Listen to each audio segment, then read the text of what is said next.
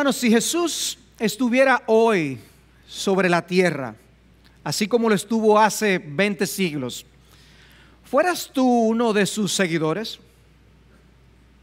Sí, mientras él estuvo caminando aquí en este mundo, algunas personas se adhirieron a él y le, y le seguían y aprendían de sus enseñanzas. ¿Serías tú uno de esos que iría tras Jesús por doquier y te sentarías a sus pies para aprender cómo son las cosas, cómo Él ve las cosas y cómo Él quiere que tú vivas? El tema que vamos a estar tratando es el del discipulado cristiano y hablaremos de qué es un discípulo y qué hace un discípulo. Tratarlo de resumir en un mensaje. Y es muy probable que tratemos cosas que puedan satisfacer tu entendimiento del tema y pueda haber que haya otras cosas que queden en el aire en tu entender y por eso eh, habrá ese tiempo especial esta noche. Pero tenemos que tratar de simplificar todo lo que se puede decir acerca del discipulado cristiano en un mensaje. Por lo tanto, no esperes que todas las inquietudes serán respondidas, ni que vamos a ver todas las aristas que este tema tiene, sino que tratemos de vamos a tratar de concentrarnos en lo más importante y lo que es la esencia, el meollo del discipulado cristiano. La Biblia habla mucho acerca de muchos temas, pero solo algunos son verdaderamente centrales, y este es uno de ellos, el tema del discipulado cristiano. Y por eso el subtítulo del mensaje es la esencia de la vida cristiana. No es un tema periférico, ni del que nosotros podemos escoger ser ignorantes sin que eso afecte nuestra identidad y nuestra misión como individuos y como iglesia. En otras palabras, ninguna iglesia podrá cumplir su misión si no tiene un entendimiento claro de este tema ni si pone en práctica el conocimiento que tenga de este tema. Así que veamos en primer lugar qué es un discípulo de Jesucristo. ¿Qué es un discípulo de Jesucristo? La frase discípulo de Jesús es una frase descriptiva y lo que describe esa frase es una relación muy particular que los hombres pueden tener con Jesús. Una frase que describe una relación privilegiada que los hombres pueden tener con Jesús. Discípulos es el término usado de una manera consistente a lo largo de los cuatro evangelios y aún en el libro de los Hechos para hablar de los creyentes en el Señor Jesucristo. Y aún los ángeles llamaban a los creyentes de esa forma luego de la resurrección. Leemos en Marcos capítulo 16, versículo 7, pero id, decid a sus discípulos y a Pedro, él va delante de vosotros a Galilea, etc. Pero aún los ángeles se dirigían a los creyentes como discípulos. Y lo que quiero señalar con esto es que la palabra de Dios identifica a todo creyente como un discípulo. De manera que si eres creyente, eres un discípulo. Y lo que estamos aquí estudiando es lo que somos. Es importante saber nuestra identidad. Es importante saberla para poder nosotros cumplir nuestra misión. Bien, ¿qué es en sí un discípulo? Y aquí lo resumimos con estos dos términos, pero más puede quedar englobado, más podría decirse, pero podemos resumirlo en estos dos términos. Un discípulo es un aprendiz un discípulo es un seguidor. Un discípulo de Jesús es un aprendiz de Jesús y un seguidor de Jesús. Porque el término discípulo no es algo propiamente del cristianismo. La palabra discípulo fue usada desde antes para referirse a cómo hombres seguían a otros maestros. Pero nosotros queremos de manera particular conocer lo que es un discípulo de Jesús. En la antigua Grecia se usaba el término y Sócrates se consideraba, por ejemplo, discípulo de Homero. Pero Sócrates también tuvo un discípulo famoso, que fue Platón. Platón también tuvo a sus discípulos, pero tuvo al más famoso de ellos, que fue Aristóteles. Y el más famoso, famoso de los discípulos de Aristóteles fue Alejandro el Grande. O sea, es impresionante ver el impacto que una persona puede tener en otras y eso ser de influencia en la historia universal. La historia de la civilización occidental no podría ser contada sin hacer mención de esos cuatro personajes, Sócrates, Platón, Aristóteles y Alejandro. La influencia de una persona sobre otra puede ser trascendental. Una diferencia radical con el discipulado cristiano es que los cristianos deben aprender y seguir las enseñanzas de Jesús. Aprender y seguir las enseñanzas de Jesús. En el caso de los filósofos era común que el, discípulo siguiente eh, tratara de mejorar las enseñanzas de su maestro. Y en muchos casos lo contradecía eh, dramáticamente. Eso no debe ser así en el caso de los discípulos de Jesús. Nosotros seguimos las enseñanzas de Jesús, que son las mejores del mundo y que no tienen nada que arreglarse. Eso es un gran privilegio. Por eso decimos, es un privilegio ser discípulos de Jesús. Es un privilegio aprender del maestro. un gran privilegio. Hay, estudiantes que se enorgullecen, no, yo estudié tal cosa con tal persona. Eh, ajá, y sí, yo, yo estudié taekwondo con tal maestro. Oh, fantástico. Nosotros aprendemos de Jesús el mejor. En el caso particular de Aristóteles, su escuela de filosofía se llegó a conocer como la escuela peripatética. ¡Wow! ¡Qué patético suena! Bueno, eso significa simplemente que él enseñaba caminando con ellos. Iba hablando, conversando con sus discípulos. Iba caminando por Grecia y en ese proceso iba enseñando y exponía a sus discípulos a lo que él hacía normalmente durante el día.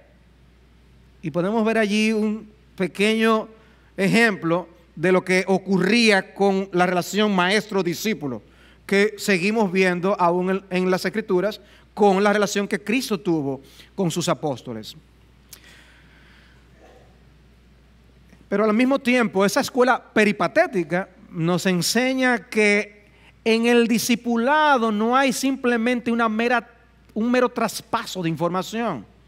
Hay un traspaso de experiencia y de vida. El maestro puede traspasar no solamente conocimiento, sino aquello que ha aprendido. Puede transmitir algo del carácter. ¿Cómo se practica tal? ¿Cómo se refleja tal carácter? Y nosotros así por eso también estamos llamados a aprender del carácter de nuestro Maestro, que es el Señor Jesucristo.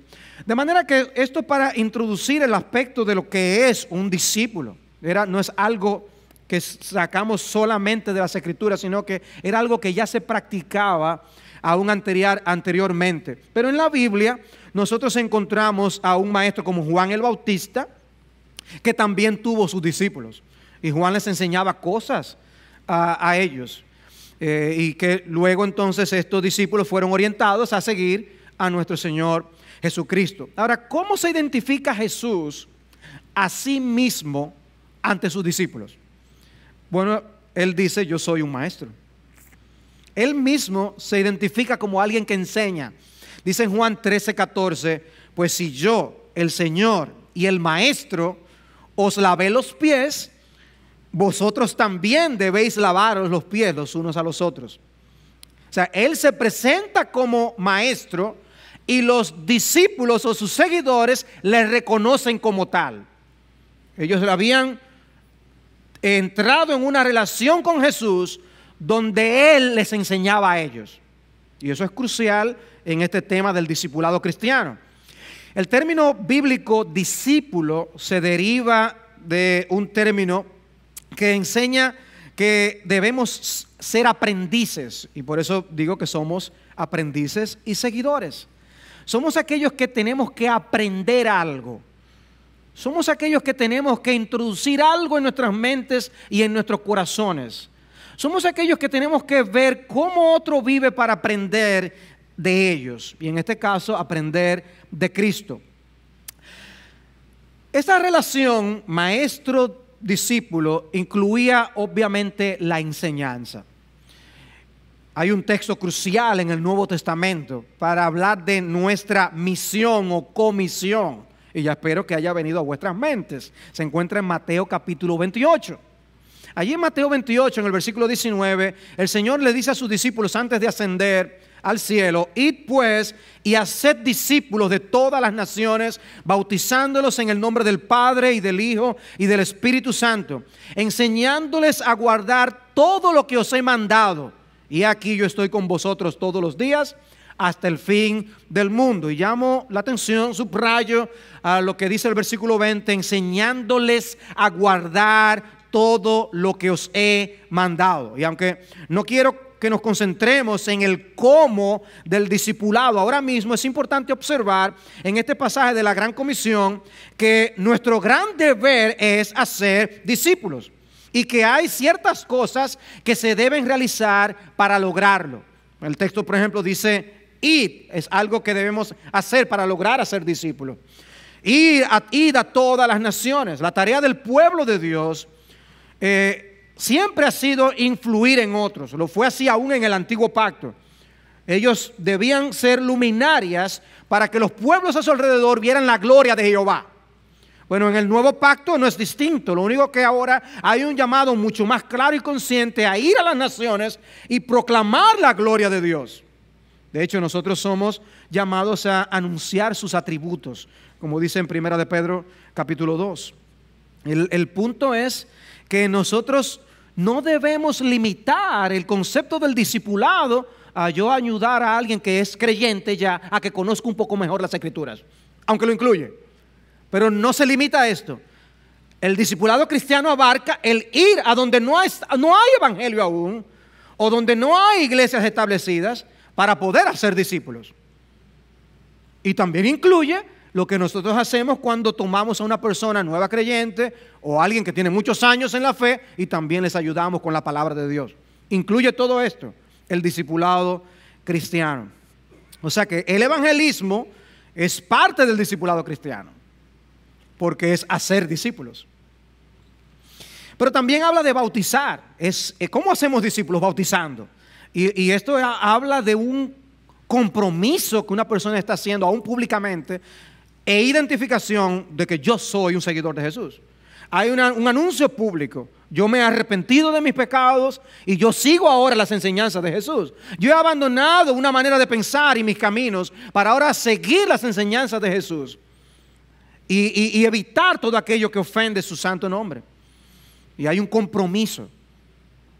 Un discípulo es alguien que se ha comprometido con Jesús. La manera de hacer discípulos incluye el hacer que los discípulos se comprometan. Porque dice, ¿cómo debemos hacer discípulos? Yendo, bautizando. Tiene que estar ese compromiso.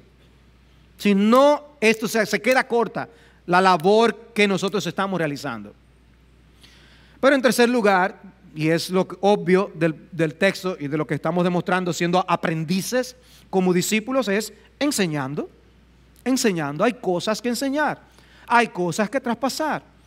Hay contenido que traspasar, hay experiencias que traspasar. Hay cosas que poner en la mente y el corazón del otro. Y eso es sumamente importante. De manera que el aprendizaje es una parte esencial de la vida cristiana. Una parte aquí. Si tú eres de las personas que dicen, ya yo he oído muchos mensajes, y ya me he leído como tres libros. Ya está bueno. No. ¿Cuánto dura el proceso del aprendizaje del discípulo? Hasta que Cristo vuelva, hasta que estemos en la gloria.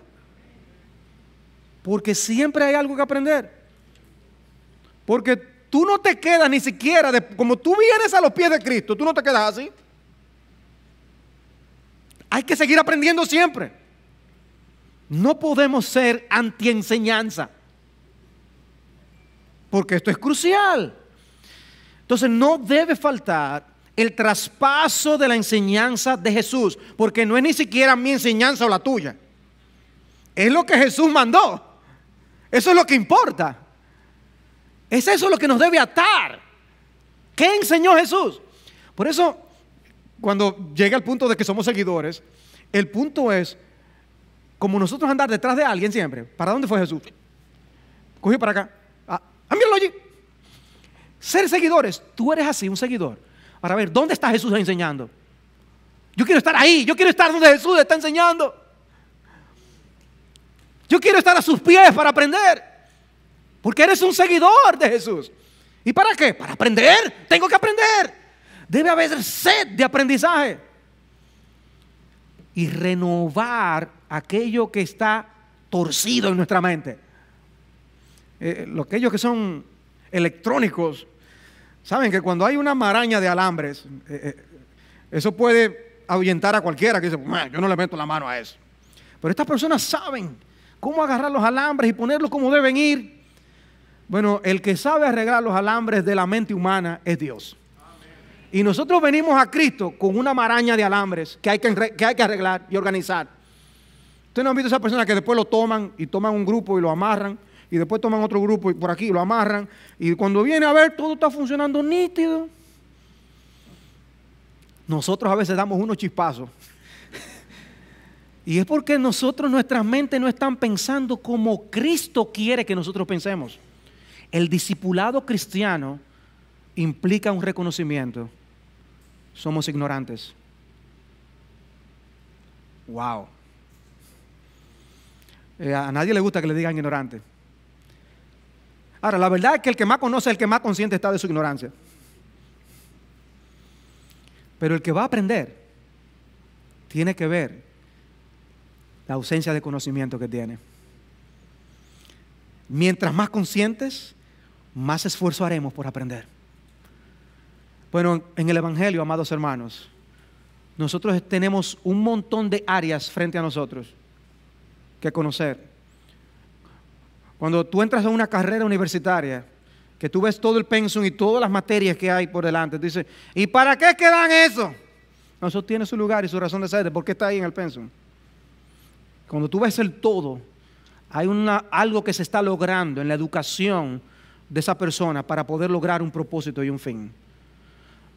Asimismo, en la Biblia no hay nada de más.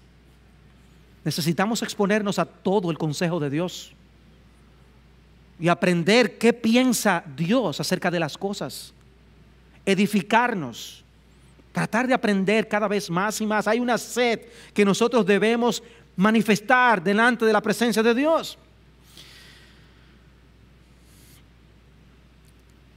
Una cosa es visitar un país como turista en un país donde se maneja del otro lado. Bueno, siempre hay que discutir cuál es el que está derecho. Eh, si son ellos o somos nosotros. Pero yo, imagínate que vamos a un país que manejan del otro lado. Tú vas como turista, ¿y qué tú haces? Bueno, tú tienes un amigo que te conduce o un taxista que te lleva.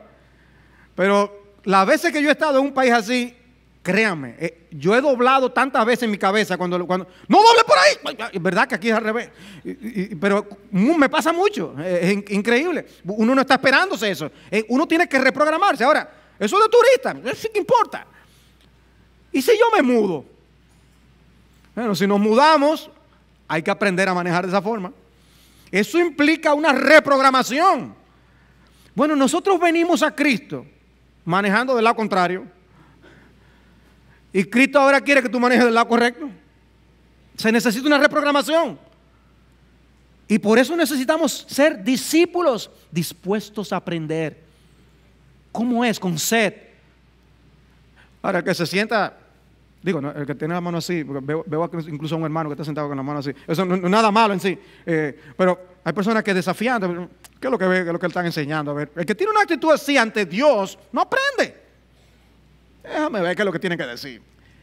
Lo que estoy diciendo es un discípulo está dispuesto a aprender, quiere aprender. Y para eso tiene que someterse a la enseñanza de otro. Pasa, pasa en nuestras universidades, que a veces un estudiante sabe más que el profesor. Eso pasa. Ahora, normalmente el profesor sabe más. Y para aprender, tiene que ponerse a los pies del maestro y poder recibir el contenido. Con Cristo, hermanos, no es diferente. Hay necesidad de aprender porque venimos a Cristo con ignorancia, pero peor aún, hay necesidad de aprender porque venimos a Cristo con una cosmovisión equivocada y con concepciones equivocadas acerca de un montón de cosas.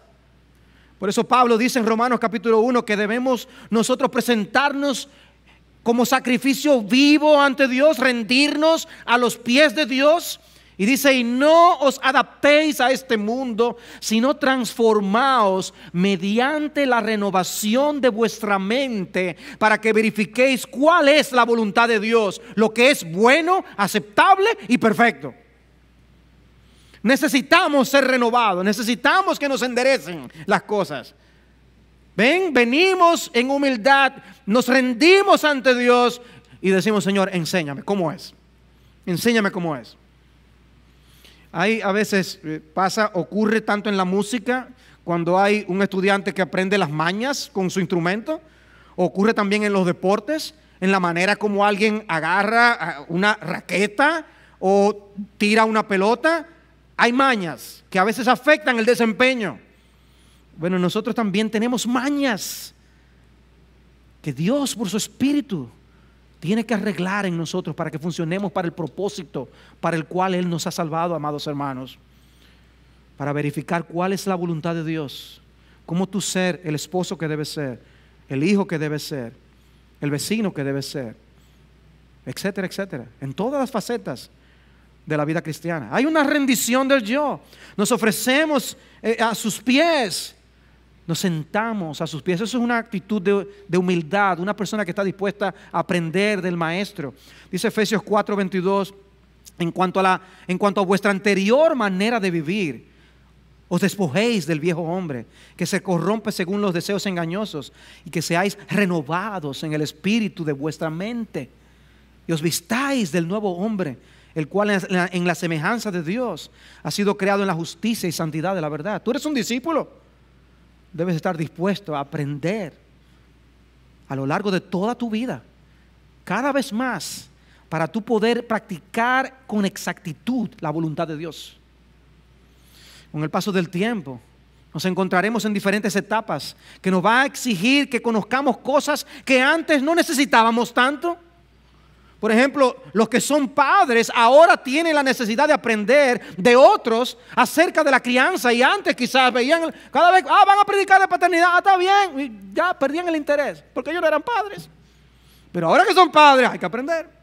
¿Ven? No nos quedamos nunca en una misma etapa, siempre tenemos cosas que aprender. Asimismo dice la escritura que las ancianas deben enseñar a las más jóvenes. Había un punto cuando ese versículo pasaba por la mente y dice, yo no soy de las ancianas. Nunca quería que llegara ese momento.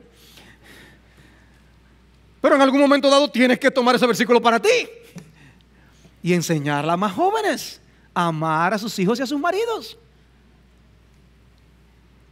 ¿Ven? O sea, no siempre necesitamos la misma información hay una necesidad de mantenernos aprendiendo siempre qué Dios quiere que hagamos, cuál es la voluntad de Dios para nuestras vidas.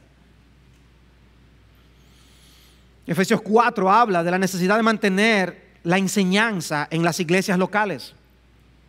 Ministerios de enseñanza en las iglesias locales. Dice que Él ha dado pastores y maestros para que equipen a los santos para la obra del ministerio. Y luego dice que eso ayuda al crecimiento ¿A qué medida? A la estatura de la plenitud de Jesucristo. ¿Para qué? Para que ya no seamos niños que son movidos y sacudidos por todo viento de doctrina. Pues surge algo nuevo por allí. Oh, mira qué interesante. Sí, pero eso contradice esto, esto, esto, esto. Ah, ay, no lo veía. Tenemos, dice, la enseñanza nos protegerá contra enseñanzas incorrectas para que nosotros podamos crecer saludables como una iglesia, dice, para que no sean llevados de todo viento por astucia de hombres, por las antimañas engañosas del error. Hay que cuidarse. Pero el, el discípulo no es solamente un aprendiz, el discípulo también es un seguidor. Es alguien, como les decía, que está, anda detrás del maestro. Hay una relación, hay una atadura, una ligazón. Lo normal siempre era que un alumno escogiera el maestro de su preferencia. Bueno, yo voy a la escuela de tal persona, de la escuela de tal filósofo. En el caso de Cristo, Él escogía a sus discípulos y Él los llamaba. Y llamó a Mateo y llamó a Pedro. Cristo hace un llamado a los suyos. En, en el caso de Pedro, es interesante ese texto que estudiamos recientemente en Marcos 10, 28. Pedro le dice al Señor, aquí nosotros lo hemos dejado todo y te hemos seguido.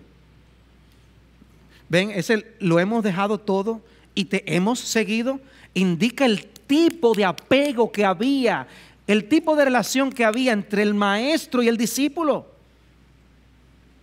Donde er, eran, eran dispuestos a dejar todo atrás con tal de poder aprender del maestro. Aquellos que creyeron en Jesús, luego de su ascensión, no caminaban con Él como lo hicieron los apóstoles. ¿Se acabó el discipulado cristiano? No. El hecho de que Cristo esté en la gloria, sentado en el cielo, no significa que nosotros no seamos discípulos de Jesús. Seguimos siendo seguidores de Jesús. Seguimos detrás de Jesús. Seguimos sentándonos a sus pies. Y ese es el concepto que a veces nosotros no tenemos del discipulado cristiano. Y es que nosotros seguimos aferrados a sus enseñanzas. Seguimos apegados a Él y comprometidos con Él, como se comprometían sus discípulos.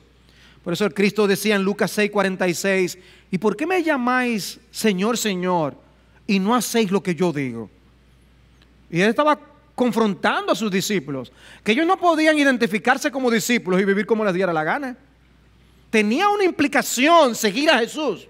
El que seguía a Jesús había hecho un compromiso de vivir por las palabras de Jesús. O sea que ser discípulo de Jesús significa someterse a la autoridad de Jesús, enseñándoles a guardar todo lo que os he mandado. Wow. Enseñándoles todo lo que os he mandado.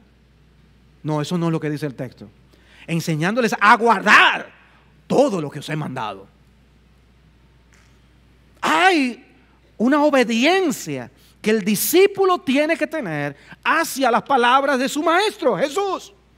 Un discípulo se compromete de corazón para no vivir conforme a sus estándares y sus criterios personales. Es por eso que decimos, hay una identidad entre ser discípulo y ser creyente. Porque el que cree es regenerado y salvado por la gracia de Dios. Es alguien que se va a rendir a los pies de Jesús para vivir para su gloria. No hay otro tipo de cristianismo en las escrituras.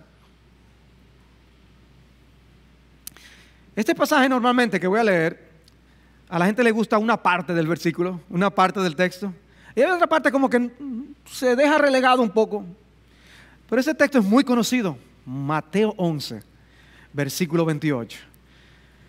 Venid a mí, todos los que estáis cansados y cargados, y yo os haré descansar. Y así la gente, la gente, llega ahí hasta con una paz en ese versículo, que la gente se recuesta, así casi se duerme.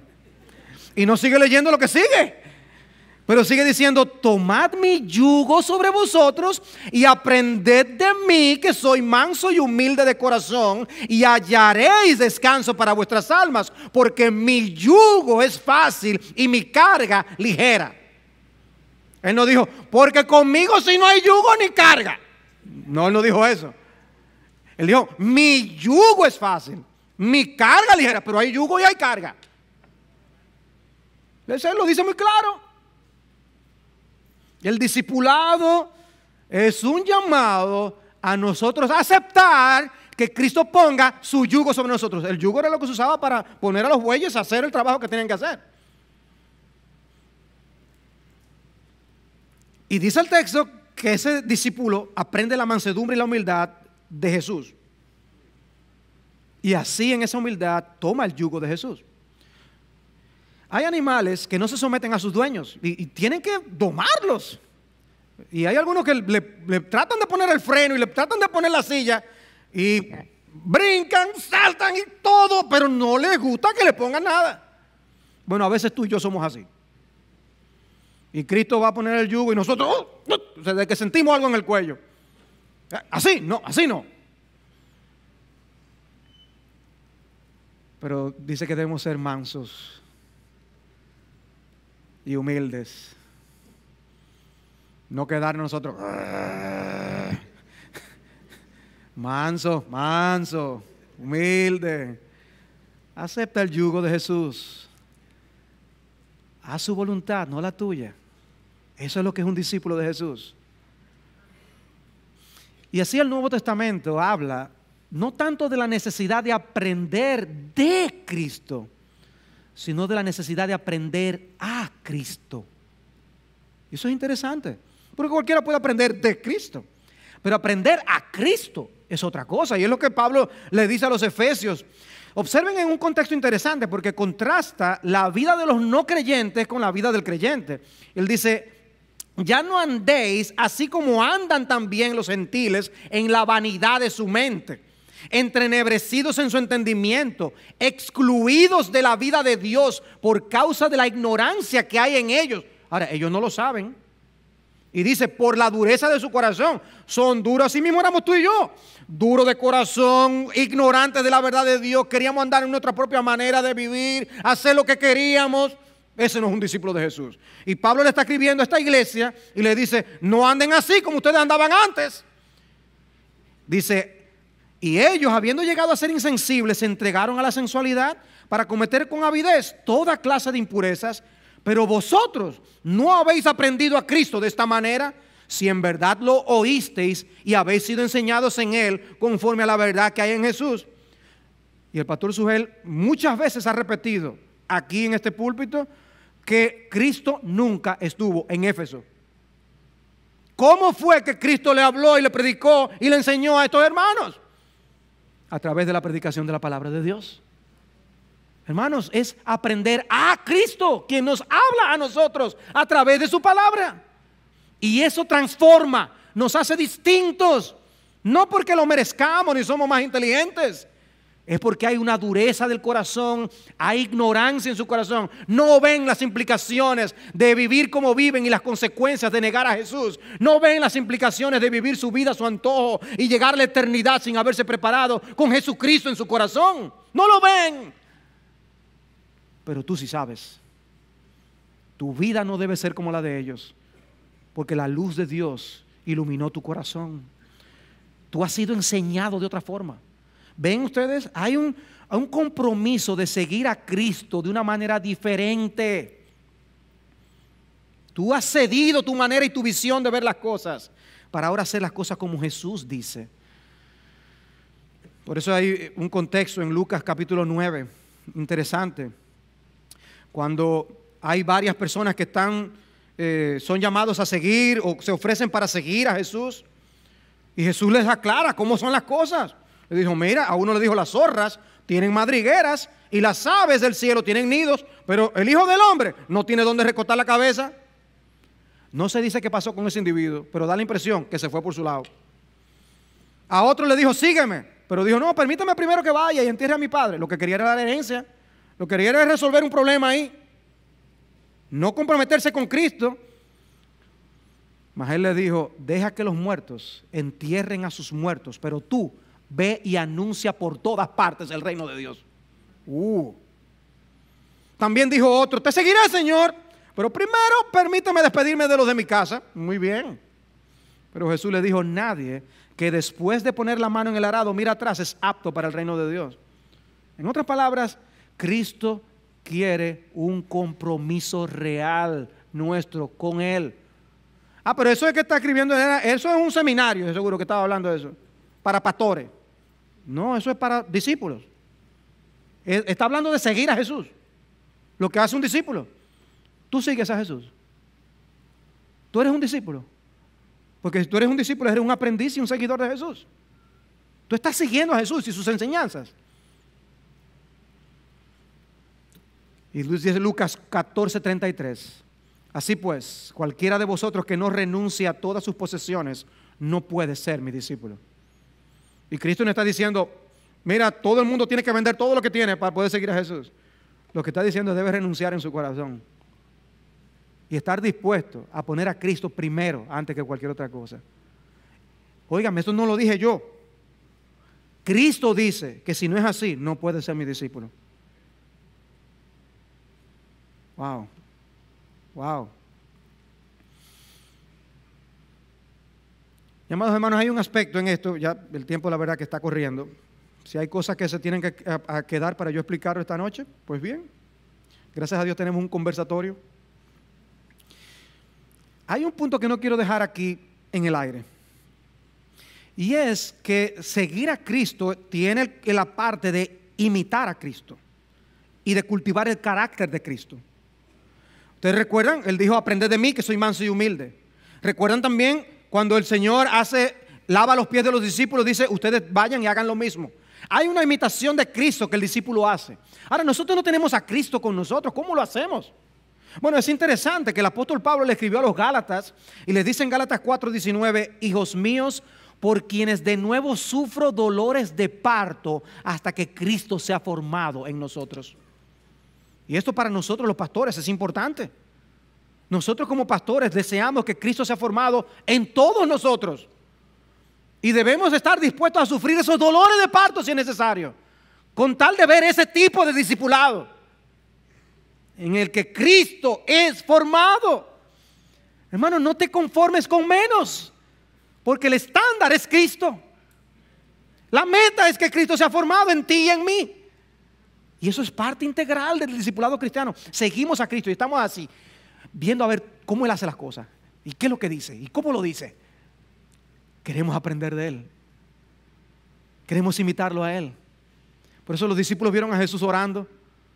Eh, Señor, wow, eh, eh, enséñanos a orar así. Quisieron imitarlo a Él orando también. Debemos anhelar imitar a Jesús. Y para eso tenemos que encontrarnos estudiando a Jesús y estando en comunión con Jesús. Verlo a Él en los evangelios y verlo a Él donde quiera que se refleje en las enseñanzas de todas las escrituras para aprender de Él. Dicen, aprende de mí, que soy manso y humilde. Hay algo que tenemos que hacer. Obviamente esto incluye el hecho de que hoy en día como Dios ha puesto en su palabra, necesitamos que otros nos enseñen. Necesitamos, Él ha dejado maestros. Pablo dijo, imitadme a mí, así como yo imito a Cristo. En ese sentido no tenemos a Cristo presente, pero Dios nos ha dejado maestros que nos enseñan. Todos nosotros necesitamos este tipo de comunión para que nosotros podamos subsistir en la vida cristiana. Y por eso vemos que Dios dio dones de enseñanza y Dios dio, Dios dio dones de exhortación, porque todos necesitamos enseñanza y exhortación. Todos lo necesitamos. Pero debo correr y en cinco minutos darle la parte de qué hace un discípulo de Jesucristo. Wow. Ta, ta, ta, ta. Vamos a ver, pero voy a resumir de esta forma. Yo espero que estemos claros en que somos aprendices y seguidores. Aprendices y seguidores. Ahora, ¿qué hace un discípulo de Jesucristo? Eso es lo que somos. Pero ¿qué hace un discípulo de Jesucristo? Bueno, no solamente hay una identidad especial y privilegiada, hay una misión especial, privilegiada también. Cuando en una entrevista llenamos el formulario, ocupación, pastor, eh, o ocupación, yo soy maestro, secretaria, nosotros estamos poniendo aquello que nos dedicamos y lo que hacemos. Bueno, cuando, cuando en ocupación como cristianos decimos discípulo, ¿qué hacemos? ¿Qué es lo que hace el discípulo? Bueno, hemos dicho qué cosas hace en relación a Jesús, pero ahora queremos ver qué hace ese discípulo en relación a otros. ¿Qué hace ese discípulo en relación a otros? Bueno, y esto yo lo puse así en negritas en mis notas. No solo somos discípulos, somos también discipuladores no somos solo discípulos, somos también discipuladores. Y el texto es el mismo de Mateo 28 que les había leído antes, donde el mandato es, id pues y haced discípulos. A los que ya son discípulos se les está ordenando a hacer discípulos. ¿Cuál es tu misión y la mía como discípulo? Hacer discípulos, discipular. Lo cual no solamente significa, por lo que ya hemos visto, llevar a una persona a hacerse seguidora de Jesús Porque Jesús no despachó a los apóstoles de una vez y le dijo, "Eh, ya, ok, te convirtieron para afuera. Ni Pablo hizo tampoco eso con Timoteo. No, hay una relación que se establece entre el discípulo y otro que puede ser discípulo u otro que ya es discípulo en las diferentes etapas del discipulado cristiano. Y eso lo hace una tarea súper interesante. Si un discípulo es un aprendiz y un seguidor de Cristo, hacer discípulos es esforzarnos en ver que aquellos que no siguen a Jesús se conviertan y luego aprendan de Jesús para seguirle en todas las facetas de sus vidas. O sea que si tú estás discipulando a alguien, tú estás evangelizando a alguien para que venga a ser seguidor de Jesús, o tú estás tratando de llevar a alguien a, la más, a que sea más maduro en Cristo, siguiendo a Jesús, no siguiéndote a ti. Es a Jesús, recuerden. Pero todos tenemos la tarea de poder influir en otros para poder nosotros dedicarnos a este punto. A este punto, el tiempo se me ha acabado. Yo propongo a los pastores, si me dan el permiso, de que esta noche yo tome un pequeño tiempo y concluya esta partecita aclarándola un poco y luego pasamos al tiempo del conversatorio. Me dicen que sí, por aquí, que, dice que uno me hizo más o menos como así. tengo uno y medio. Eh, que sí, ah, ok, fantástico. Eh, pero no quiero concluir sin dirigir unas palabras para aquellos que están aquí que no son discípulos. No quiero dejar de, de expresarle algo a ellos.